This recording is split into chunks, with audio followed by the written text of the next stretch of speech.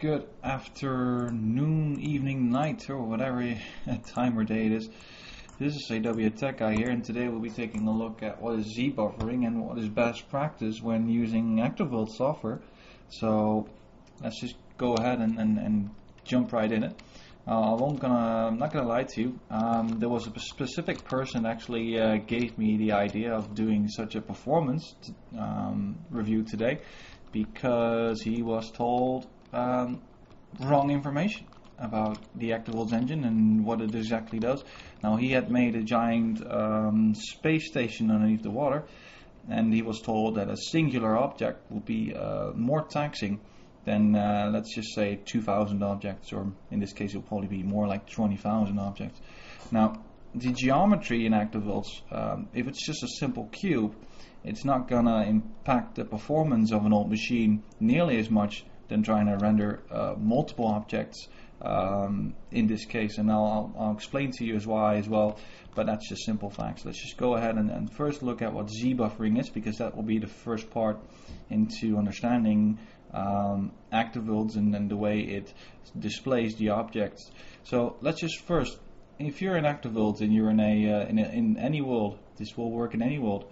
Um, when you press the F10 button on your keyboard, you'll see it will display um, where there's no objects displayed a green grid. Now this grid is basically the cell grid.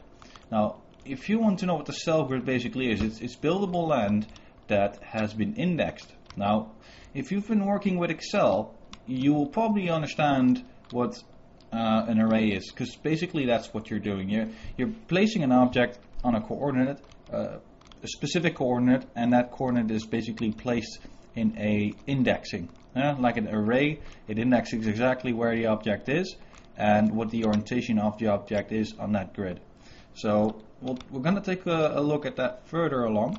But first let's explain what Z-buffering is. Now I made a simple diagram in Paint um, just to explain what Z-buffering is. Now this is your depth field in this case. So when you select an object, you'll see Alright, this is the X pointing towards the right hand side. Z is your depth buffer and then Y is your uh, Y axis so that's basically your, your, your vertical uh, your vertical line there.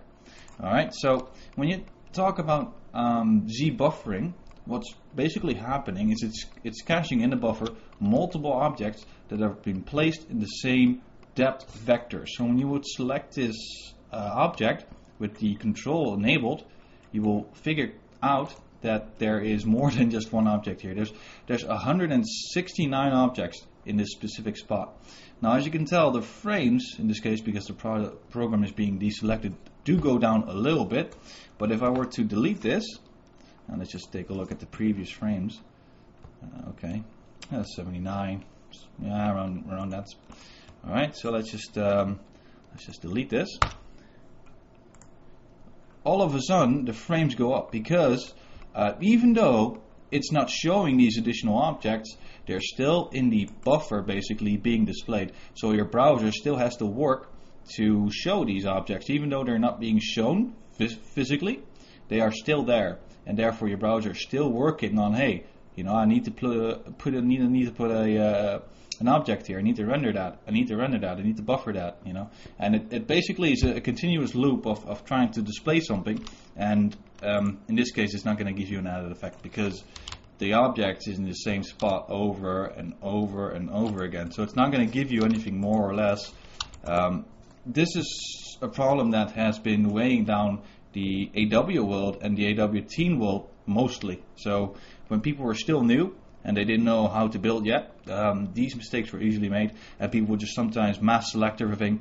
Um, they wouldn't remember that they actually mass select everything, and they would just paste it in the exact same um, spot. So that explains what Z buffering is. Now we'll be taking a look at exactly what the cell is.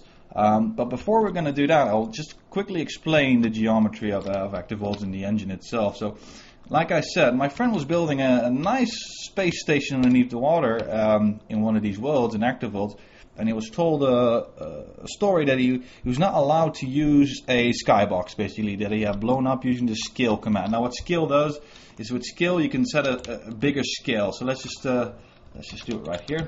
Let's just set a scale of 10 in this case. Does it do that? No, it doesn't understand it. Alright, so let's just blow it up in every direction. Does it do that? Uh, it's probably not working because maybe I need to use the create. There we go. So basically he used the scale command to make the skybox big and to put it around his entire lot. Um, if it's a simple cube, what it will do is it will render this this this this one side, and if it's a, if it's a cube, it will render six sides. Um, and these six sides, so four sides from each direction, in the top and the bottom, it will render these four sides, and then it will put the texture on these sides. Now, if it's a single texture, what he did, he used a single texture. It will only need to render these textures maybe four, in this case, six times, because he said he has six sides. Now, thing about it is that he was told it would take more performance out of older computers if he would use um, a singular object instead of, uh, in this case, you had to use many, many objects. Well, that of course doesn't make any sense. So if you would use multiple objects, let's just um, let's just down the scale. If you would use multiple objects, all of a sudden it doesn't need to render it maybe six times. No, all of a sudden it has to render it. Let's just do go. Let's just do that. Okay. Need to get to the same, um, well, roughly the same size as we, as we were just now. So let's just go ahead and just do that. It's probably a little bit too high, so let me just go ahead and delete that. I'm not gonna, I'm not gonna talk about that just now. So let me just go ahead and create red uh, skill. Let's just load up 10, 10, 10. There we go. So now we have something that is equally as big, hopefully. Let's just go ahead and just put this down. Alright. Alright, so do I have any objects left? I do. Alright. Alright, so in this case it would have to render the image once. If he would do it on, on the way he's doing it now because he was told to, he has to render that same image 25 times. Now, of course, you don't need to be a wish genius. If you need to render something 25 times or only once, what do you think is going to cost more performance? It's in ActiveWorlds. It's just the same in the real life with other games. It will take, of course, a lot more performance um, if it needs to render that multiple times. No, multiple times. Now, if, if you do have a complex geometry, say for instance a statue or maybe even a car or something really complex, and it's usually probably COB or, or, or .x or something exotic like that, then sure, you know. Um, yeah, definitely. You know that that could definitely take more performance. But in this case, we're talking about a simple cube object, right? Only needs to render six six sides, right? So there's no need to say, okay, you know, you have a giant cube, it's going to suck the performance out of old machines. That is complete cockamamie story. That, that's just not true. It's not the way the engine works. Um, so yeah, there you go. You only need uh, to render it once, uh, or in this case, six times instead of 2,500 million times. So it, it does uh, boost the performance overall, especially on lower machines. If you only have to do things once, um, yeah, I mean, let's just do you, you know it just only has to do it once. I, I, just can't believe the the advice that was given. All right. But anyways that out of the way I'll explain exactly what this whole cell grid thing is because we were just talking about um, Excel and other programs. Well in Excel you have two columns right? So you have maybe an A column and a B column and a 1 and a 2 and a 3 well that's basically already a very simple array. You already have a few uh, columns, right? So A1, A2, A3, right? And this is exactly the same when you are using ActiveWorld software. When you are placing objects, now this is a version 3 prop dump. Of course, we can always take a look at a version um, 5, uh, version 5 prop dump, but we'll just be taking a look at the uh, property dump of a, of a world. And in this case, we have the person who built it, we have a specific string and a specific value. Um, I think this is the actual um, grid coordinates. Um, then you have something called the I think this this is not the altitude. This is something else. This is the what is this again? Let me think. Let me think. Let me think. Let me think. Thinking, thinking, thinking. Was this the altitude? No, no, no, it wasn't. This was the. Well, in any case, you get the drift. So you you get in your cell, you'll see in your prop dumps when you actually do it, uh, a safe prop dump of your current um, world, you'll get a similar structure to this. Now, this again is just a bunch of coordinates where the where the object is, what the orientation is, and eventually what the object type is, and usually behind it the action. So in this case it's a RWX, and behind it, it will say, okay, which which action it has. Now, in these version 5 ones, there, will, there might be different types of it, because you might not just have an object here, you might have a zone here, or something else. But we're taking a look at a version 3 prop dump because it's just a lot easier to work with. With the version 5, it's just going to add more stuff to it, and just going to cause more confusion. Um, but it's basically saving these objects in an array. And this array can then be read uh, by the world server, and we're just going to take a look at a 5 here. And this world server then translates all these coordinates into its cell structure. So when it then renders, or well, tells the browser where things are, they actually display where they are. Now, I've noticed a few problems with version 5 worlds where it doesn't display the object ever placing it, and then when you restart the browser, it sometimes shows it or sometimes doesn't. I think that has to do with the specific um, bandwidth that the world actually has to offer. So, the, basically, the connection, right? Because it's, uh, I think it's MySQL now, so it might just um, be dependent on that and it just doesn't load the um, coordinates fast enough for the browser to respond. So if it's a large amount of stuff and you see objects disappear, then yeah, now you know why. So this is great color, there you go. So all of these things are just basically uh, uh, values, right? We can't see them, but in this case, I'll tell you, these are values, null, null, null, null, null. And then we got some more stuff, and then we got here a bell, and then here, these are just values, right? Now, because it's it's probably encrypted or something uh, by default. Um, Notepad++ Plus can still translate it pretty well. So we have a, a zero value, zero value, zero value, um, then we have something that says, okay, it needs to go here, 0, 0, 0, 0, 0, then it says, hey, you need to go there, 0, 0, 0, 0, 0, and it says you need to go there. So it does still give you that that representative value of where things go in your in your server. So when you are um, more interested in, hey, how does the world server work? Um, this is a basic representation of a prop dump in action. So this is basically when you load a prop dump of a version 5 into a version 5 world server.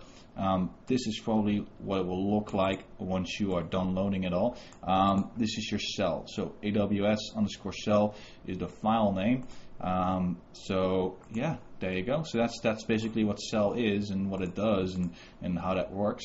Uh, now the important thing to note here is that the more stuff you have in a singular cell, the harder it is for the world server to translate that back to the browser. So if you have a huge world with lots and lots of stuff in the same coordinates, like we just had, it's not just going to make it hard on the browser to render, it's also going to be hard for the world server to handle that because the world server has to um, translate all of these coordinates back to the browser and if it doesn't receive uh, certain um, acknowledgements back, it will just time out and it will just not load whatever's there. So you have to keep that in mind. You have to you want to keep it um, yeah. Um, of course, the less objects there are, the faster it's going to be. Not just on the performance of the browser, but also on the performance of the world server. Because like I said, it has to translate everything back to you. So let's just go ahead and delete that because we're basically done with that. Um, yeah, and that's basically Z, Z buffering and um, the cell. Um, so yeah. So if you are working with active worlds and you are scaling objects up, as long as it's not a complex geometry, you're gonna be all right because the complex geometry, of course, is gonna have, um, you know, it's gonna take a while for your browser to understand, and then it has to blow it up. And let's just be honest, if it's complex geometry, sure, you know, you might want to use a bit more objects, but it, it, that's really case specific. Most of the time, just using a scale, right, just blowing the object up, especially if it's simple geometry or just RWX, you're not going to see any performance difference. Um, or well, you would see a, a performance difference uh, if you would oppose to use a huge amount of objects uh, because, like I said, then it has to render the same texture 20 times, 30 times, and then it has to place the objects at those specific spots. And yeah, it makes sense that it then costs you more performance. Um, so yeah, there you go. Even all the video cards with texture units, they're still going to have the same problem. All right. So if people say, "Oh, you know, I have an ancient, ancient video card that doesn't have shaders," you know, one with texture units and uh, lighting units and uh, you know stuff like that, still the same case. You're still going to have more problems if you want to have more objects and more surfaces for it to have, actually have to render. All right. So less surfaces, less stuff to render, more performance, more surfaces, more stuff to render, less performance. It's it's it's simple stuff right here. It's that's just just logic, right? If you have more work to do, it's it's going to take you longer. It's going to you know it's going to drain your frames. So that's basically that uh, explained. Um, if there is any questions about performance, you can always just go ahead and um, leave a comment below. The um, there is a funny thing about performance when it comes to visibility. Um, if there's too much uh, being rendered, of course, it's going to slow your browser down. I have the 500 meters tweak that I showed in one of the videos. Um, yeah, if you're uh, in a very heavily populated area, um, ActiveWorlds might give you an out of memory, even though you still have memory left. I've seen that bug sometimes. Um, so yeah, there you go. I think it's a, a, a memory limit of 1.7 gig, uh, but I'm not quite sure. I think that might have to do with the 32-bit architecture that I'm currently on but I might have to run some bug tests on that. So if there's any questions, let me know. Uh, comment below if you want to see something specifically be, uh, be talked about. Um, yeah, just let me know, and I see you guys next time.